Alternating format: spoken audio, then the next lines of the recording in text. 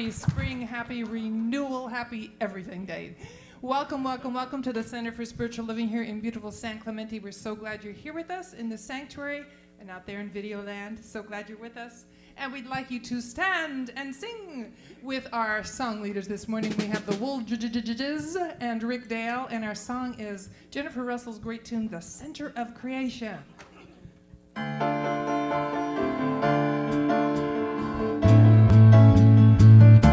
Here we go. I am the center of creation.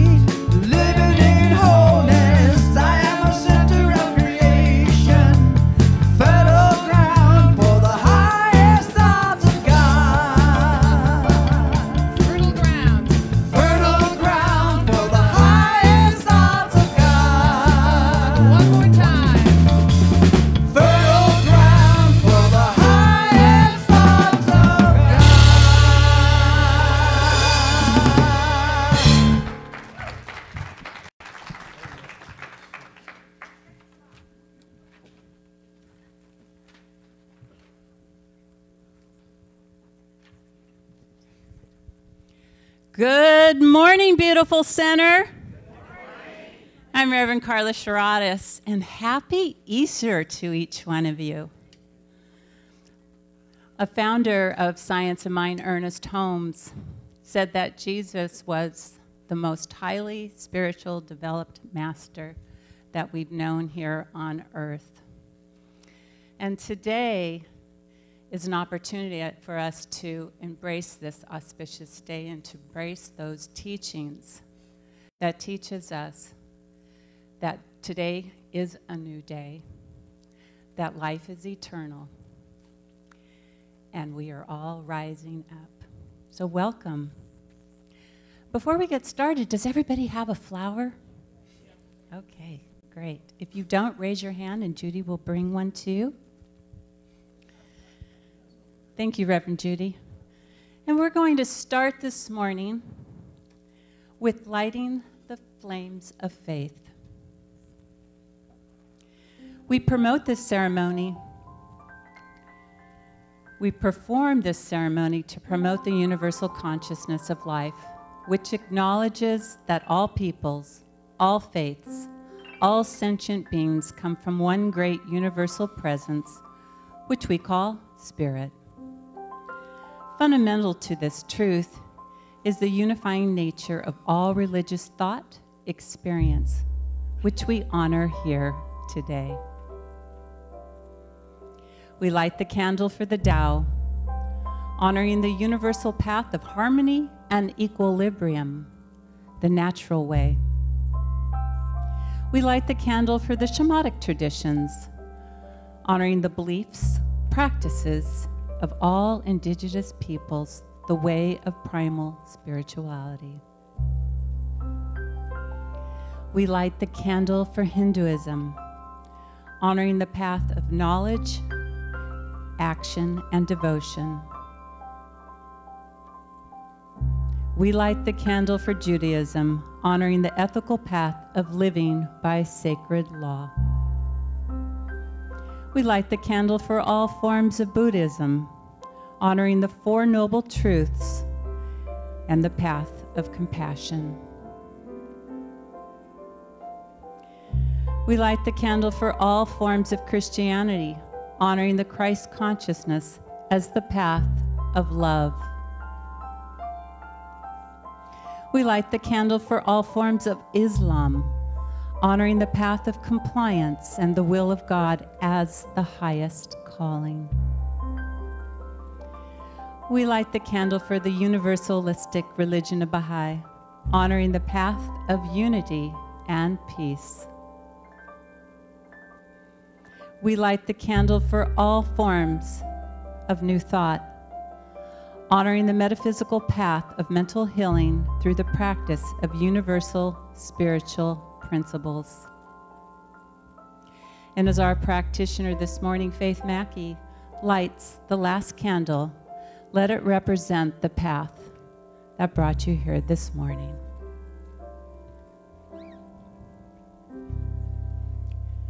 And I'd like to invite Cheryl Lineman, our practitioner, to open us with our centering prayer.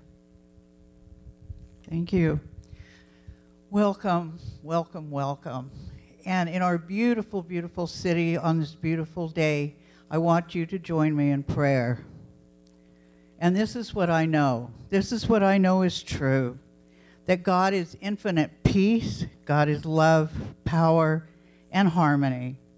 There's only one life, one power, one divine energy, and that life is here always.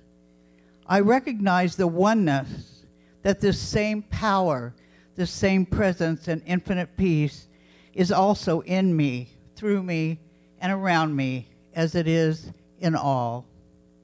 I now claim that today's talk by Reverend Alice is not only heard by our ears, but in our hearts. And God supplies these needs as God is the source of what I am seeking. And I am so, so grateful for my awareness of this knowledge and knowing that God is a source of all good. And I release these words into the law, knowing the work has already been done. I let go and I let God, and so it is. And now, today's affirmation, say it with me. Daily I rise in wonder, gratitude, power, and glory. And so it is. And our declaration of principles I believe in God, the one creative intelligence operating through the universe and operating throughout my entire being, now and always. I believe this perfect spirit operates on a law of mind and creates my experience exactly according to my belief. I believe this perfect creative intelligence can be used by me and by every other person to produce health, abundance, and love in mind, body, and total life experience. I use it now and I rejoice in it, and so it is.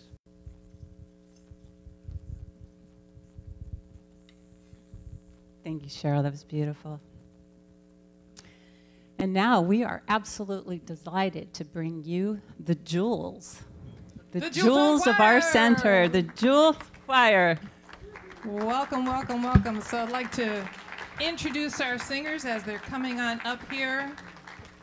We have soprano section led by, there she goes, Miss Rita McPhail.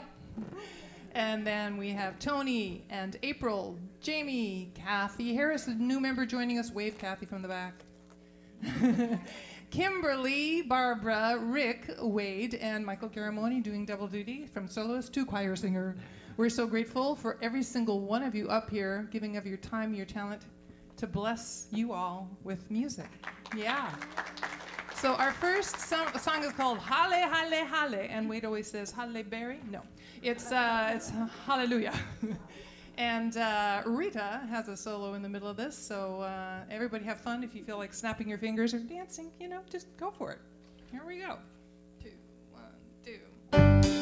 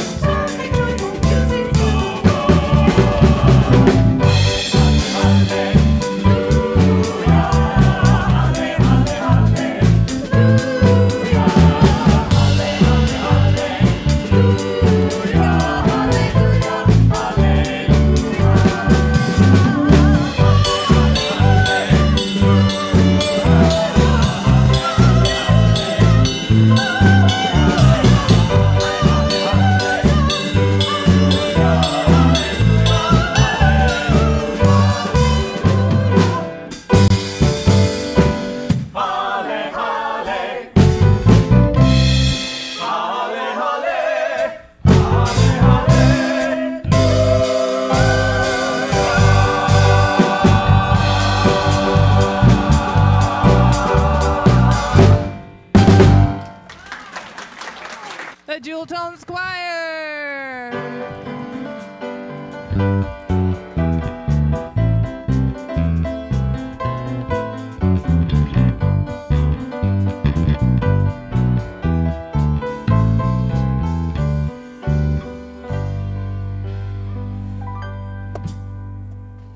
Wow, that was amazing. Thank you so much. Let's give them another hand. Happy Easter, everyone. I'm going to just adjust this a little higher. Wonderful. Thank you. Ah, good morning. I'm so happy to be with you. For those of you that might be new here, uh, my name is Reverend Alice Reid, and I'm the spiritual director here.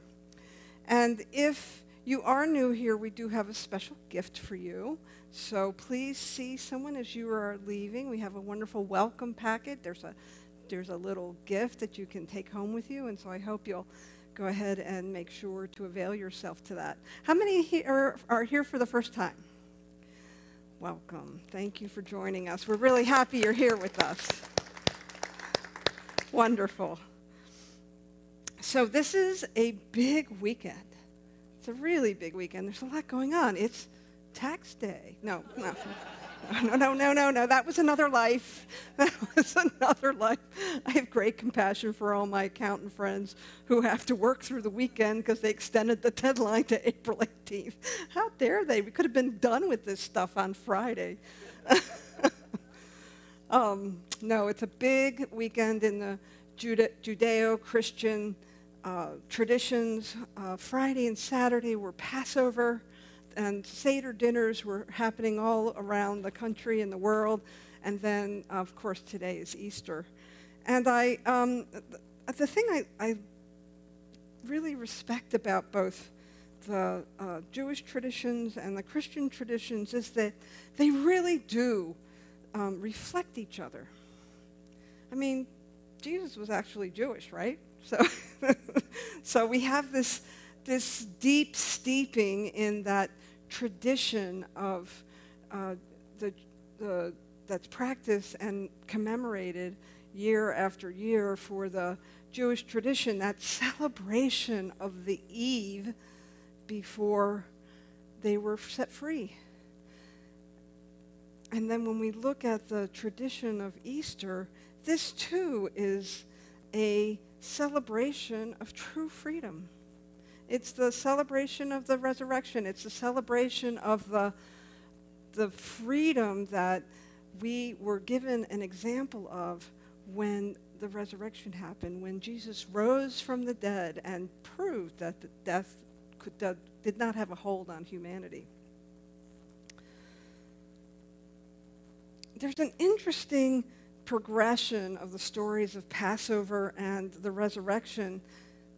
And as the story goes, the, there was a, a time before the crucifixion and the resurrection called the Transfiguration, and that was when Jesus went to go up into the mountains and to meditate with some of his followers. And they, it is said that he had this high holy moment where both Moses and Elijah appeared with Jesus. And so when I think about that, it's, it's, it gives me kind of goosebumps because Moses represents the law and faith. And Elijah, who was the protector of the Jewish people, he represents hope. And of course, Jesus represents love. He was the way shower to deep love and um, true transformation. So as we, as we um, look at Easter, I have kind of some fun facts for you.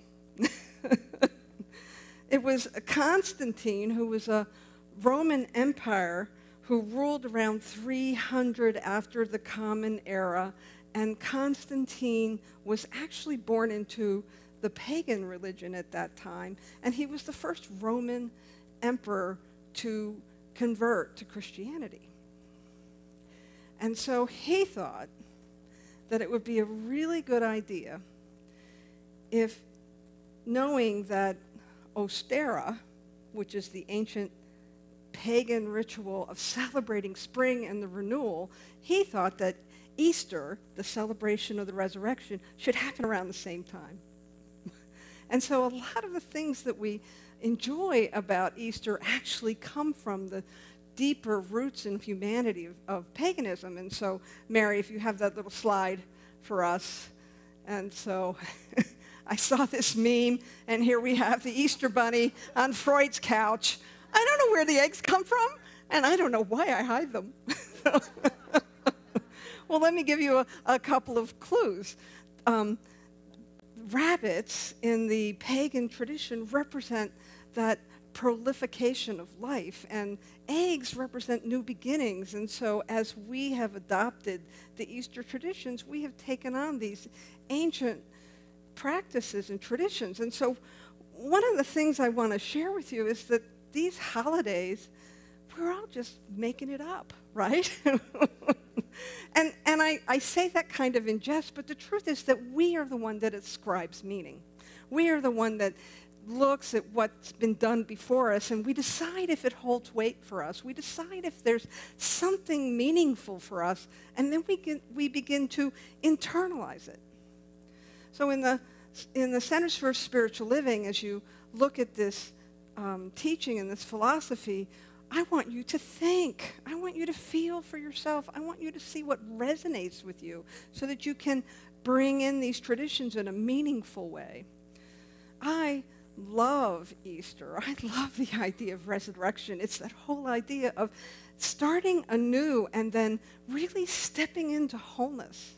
Because that is what, re- what is represented by that, the resurrection of the Christ, that that man was able to transcend his humanity and, and completely, um, I was going to say embody, but it's larger than that actually, completely know his wholeness and show us that death was no longer a limitation. Kind of sounds like our teaching, doesn't it? That we know that there's, we have these experiences in the world that are sometimes difficult, they're challenging, and yet we can transcend those limitations when we allow ourselves to be renewed. And so, as I was saying to a friend the other day, I just love the resurrection. And she said, Well, you know, you have to die first before you can experience the resurrection. And isn't it true that I can't remember who the poet was who said we always die a thousand deaths? That we're always moving through these cycles in our life of, of death and rebirth, of loss and renewal, of, of letting go and releasing and then embracing and knowing that higher truth about ourselves. Hmm.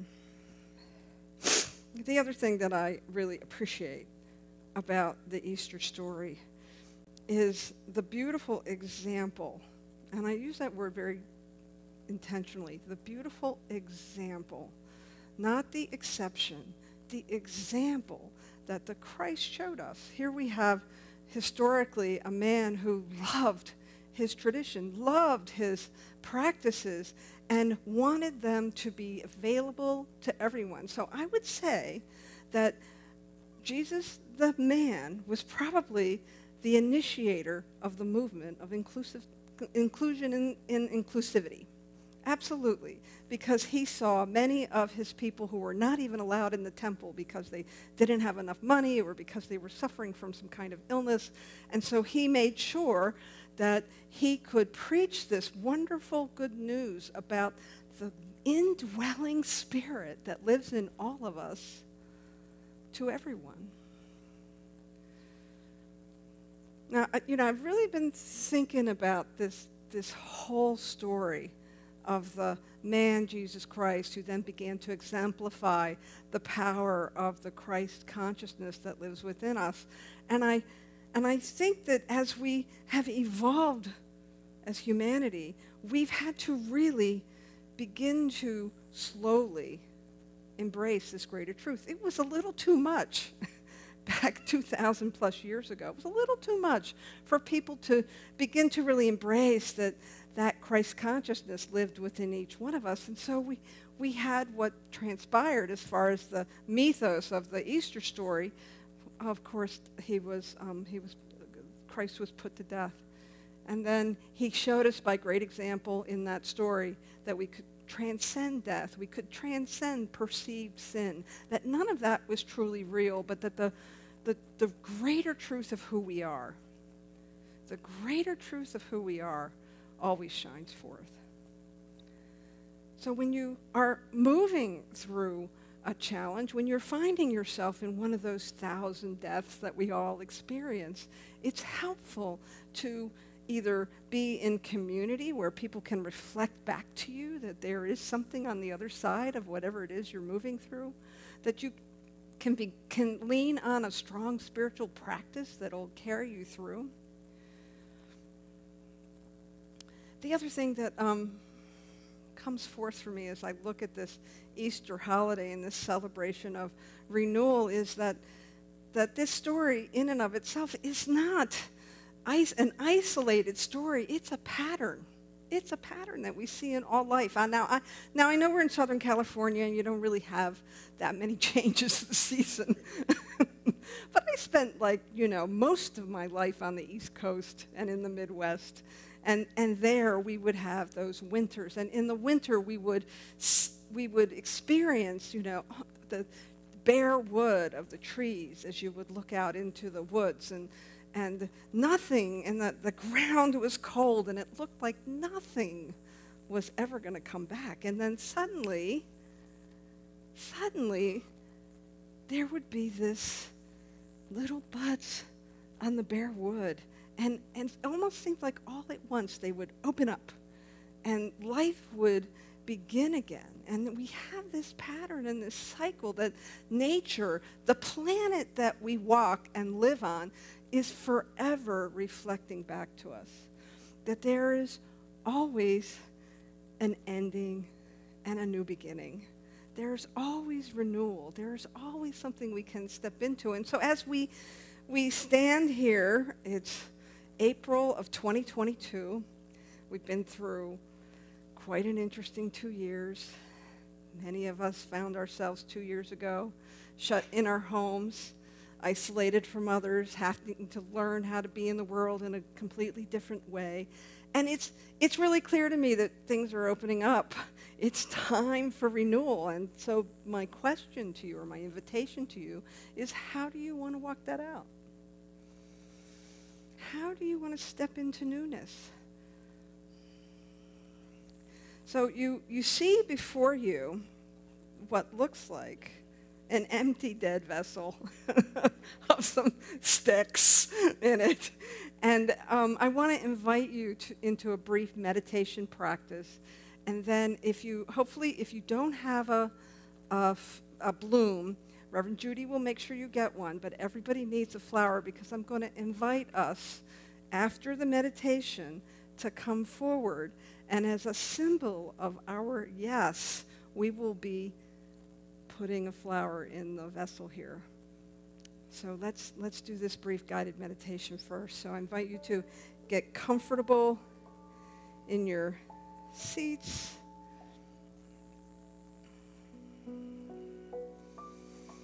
And with your blossom in your hand, I invite you to lower your gaze or close your eyes and connect with your breath. And consider what is ready to be resurrected or renewed in your life.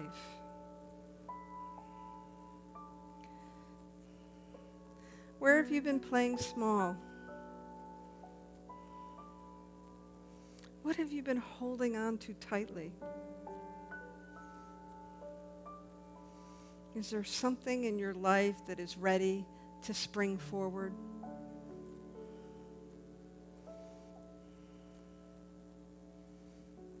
Maybe something deep within you that is calling you,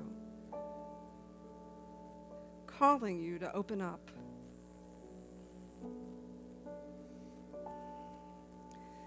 Today is your day to know that that wellspring that is the light and the love and the wholeness that already is inside of you is ready to be revealed.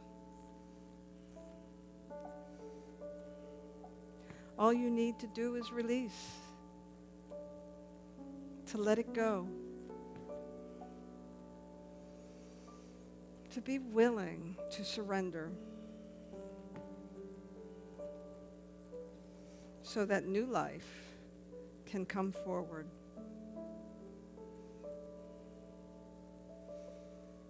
And so, as we take a moment of stillness, I invite you to simply ask your higher wisdom self, what is it that you're willing to let go of? So that you can be part of a newness that already lives in you completely. What is it that your higher wisdom self is guiding you to embrace?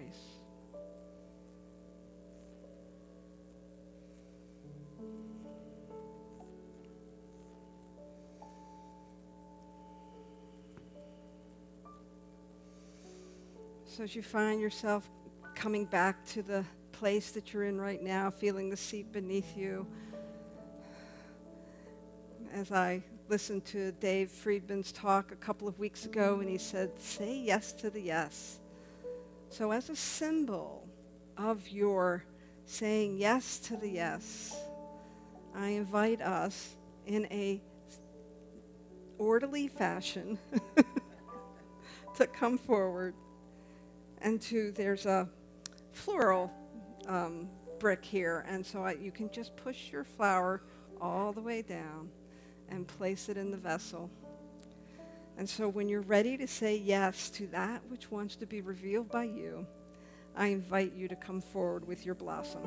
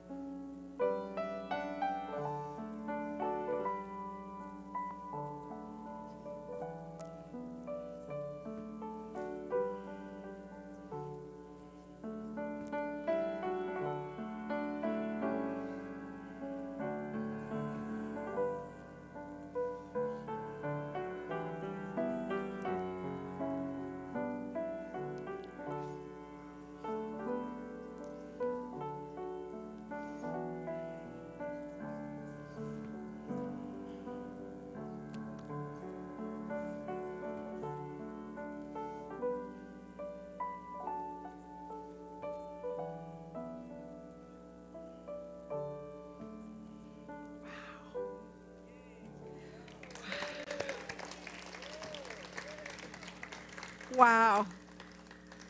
Wow. I, I, I so love the blossoming ceremony because it's such a beautiful, uh, metaphorical, and uh, tangible example of how when we come together, when we come together as community, we create something new and beautiful. That, that our beauty, we bring our beauty and our strength and our power to the, to the altar and we place it here with everyone else's, and something new comes about.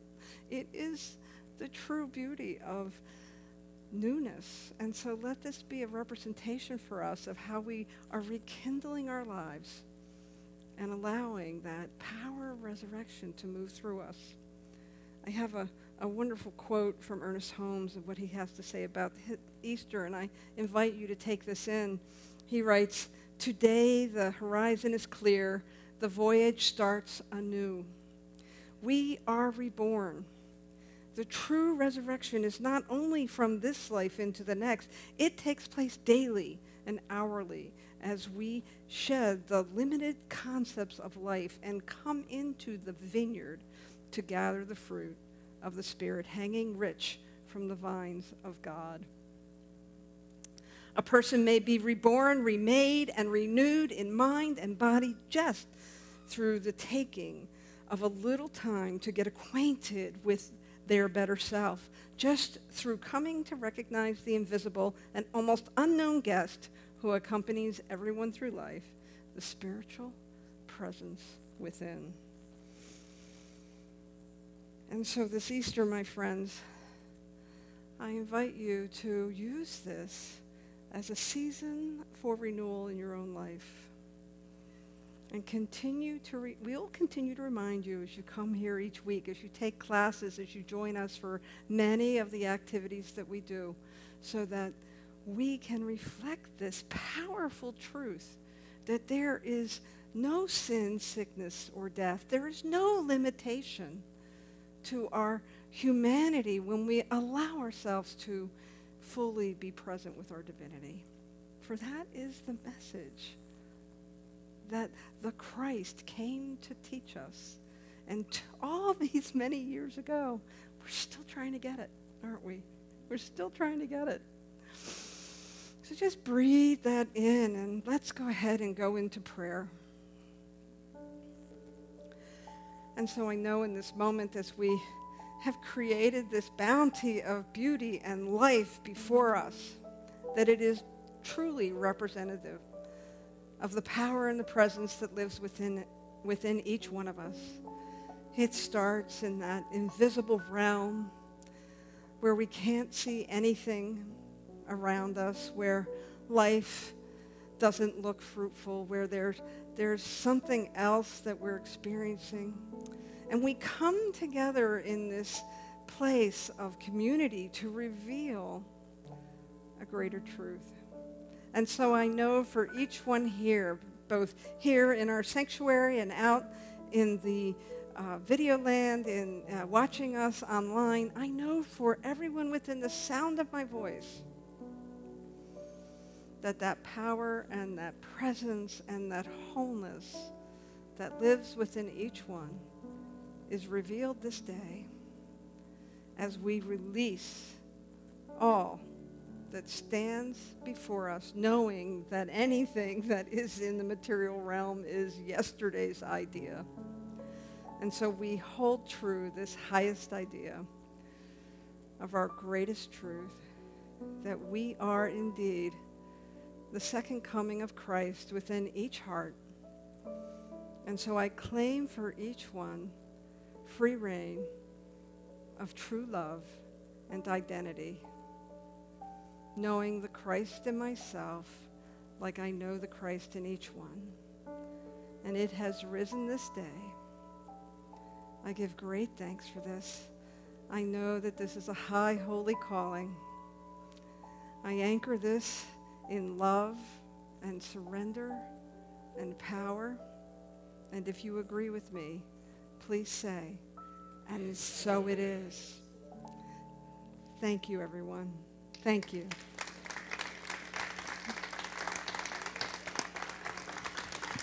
And now it's time to bring back our band and the Jewel Choir.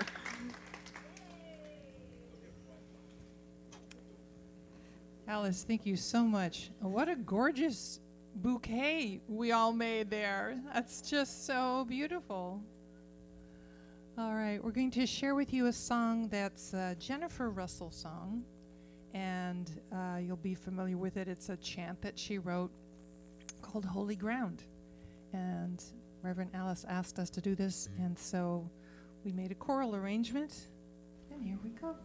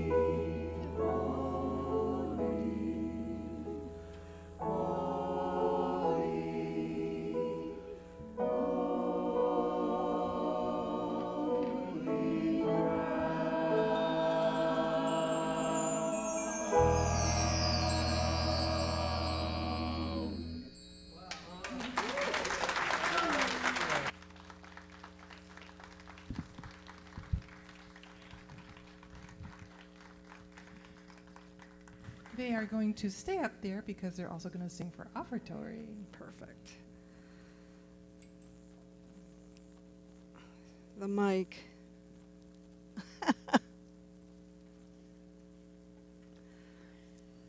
so it is time for our offertory, and I'd like to invite our ushers to come up to the stage. We're going to pass the baskets this morning. This is our opportunity to give that which feeds us here on Sunday mornings, which feeds us during the week, which feeds us in classes and all the offerings. So we open your heart to be generous. And would you, would you repeat after me our offertory this morning? My offering is my acceptance of God as the source of my supply and symbolizes my faith in the abundant flow of this supply. Thank you. Carla, if we can take your microphone and pass that to Wade. we have two special little guest stars joining us on our offertory song. So, Kainoa and Emil, can you come on up?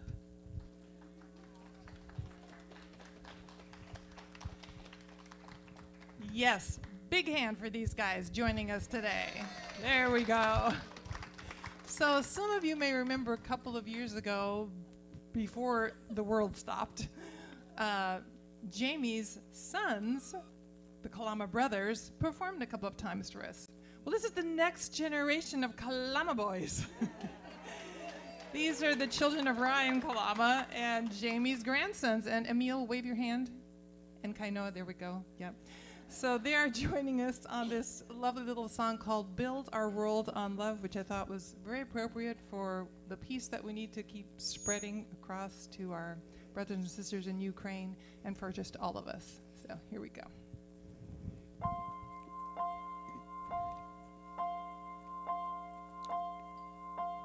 For the children of all nations, the whole of days to come,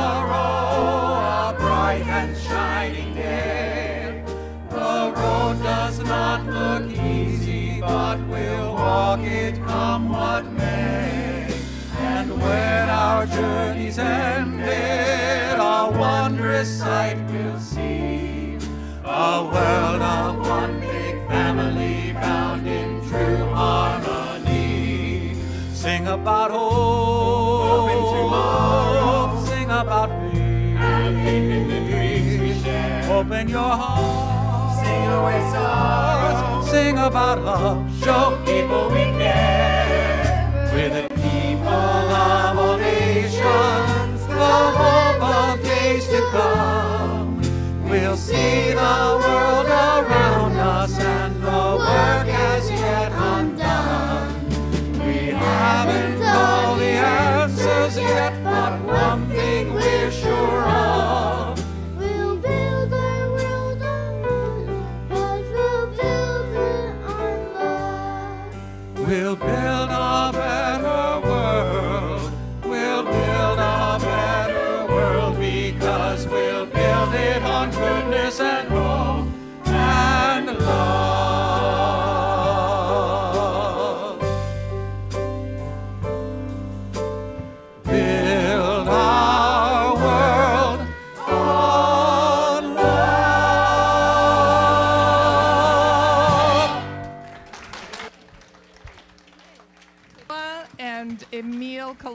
Thank you so much, guys. And my Jewel Tones Choir.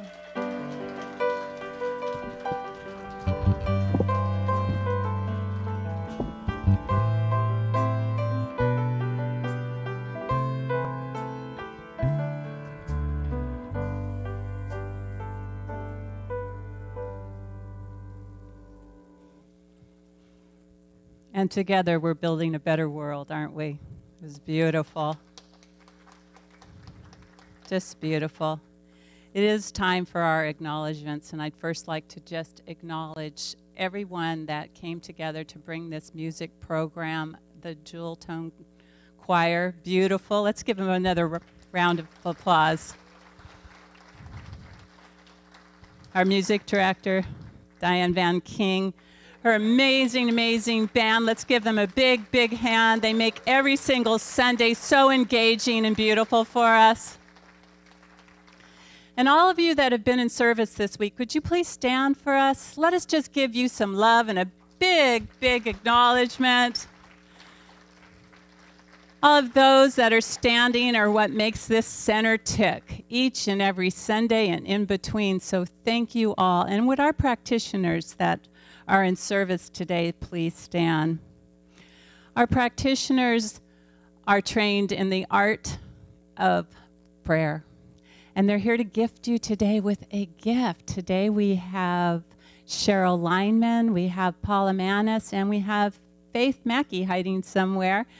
And they'll be available to you right after our service. We have two prayer tables in the back and also our quiet room. So please take advantage of this beautiful gift and get a prayer. And now it's time for our invitations, Rick.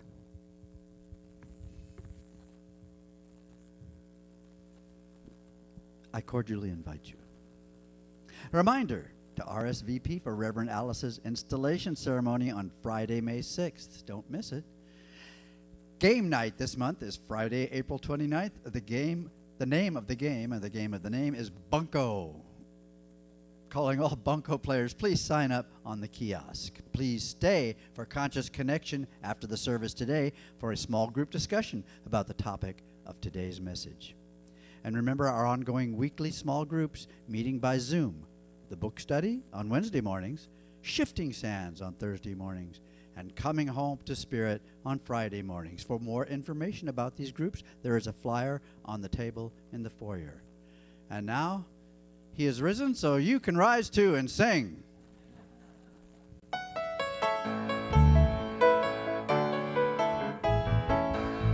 Let there be peace. I for peace.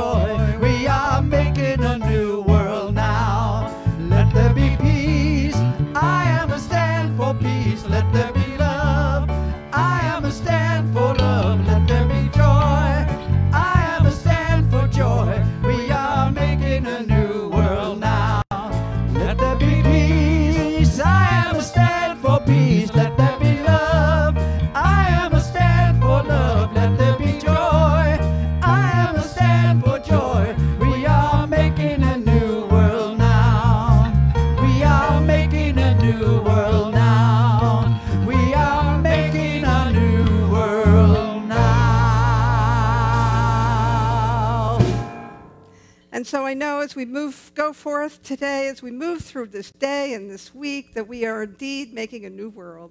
I give great thanks for this. And so it is. Please take flowers with you. Help yourself. There's more in the foyer. Help yourself. Take some flowers home with you.